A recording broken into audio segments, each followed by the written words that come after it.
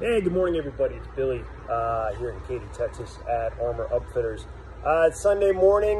Uh, I got the place myself just the way I like it. Had a nice morning with the kids. And I uh, just wanted to show y'all what we do and also announce kind of the next stage of what we're going to be doing here at Armor Upfitters.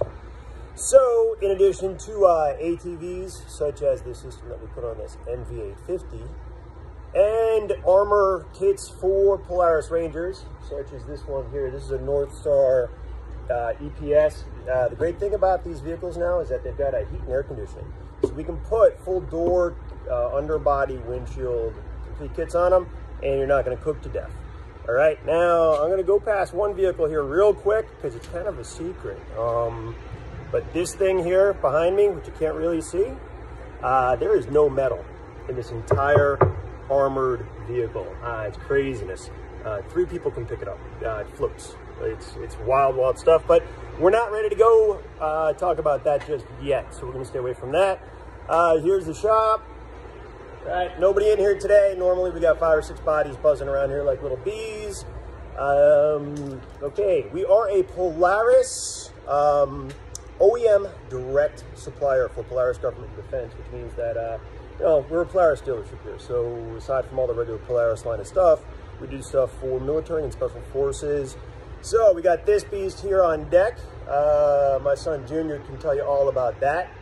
it's uh, it's a monster, and we're gonna armor this thing up as a little uh, three-person recon eh, minigun, uh, maybe anti-armor little machine. Uh, this guy here, one of my favorites, early model. We did this Textron. She just came back to us from um, let me see, Laredo down there with Webb County Sheriff's Office helping out. Uh, but the real reason for this video is that my girl, actually my man, the dude, the man van, this is it. This is the end of an era. Uh, this is the equivalent of stepping on the yellow footprints for the van because I'm about to take that tailgate off and my guys have been working diligently all week and set us up and built all the molds so that as of this afternoon, this bad boy is going to start the transition um, into a full BRC7. So basically that's like a, um, that's the equivalent of NIJ3, uh, a little bit higher. Uh, actually, no, it's just at NIJ3. The vehicle system's a little different, but you can think of it as a rifle rated vehicle, the whole damn thing. Uh, since Honda Odysseys are kind of everywhere, uh, we're gonna call the Man Van, this is actually our Honda Oddity. It's one of the few vehicles in the world that's got proper gunner's doors. Um, we're going to make the most of these. Uh, we're also going to make the most of the back area.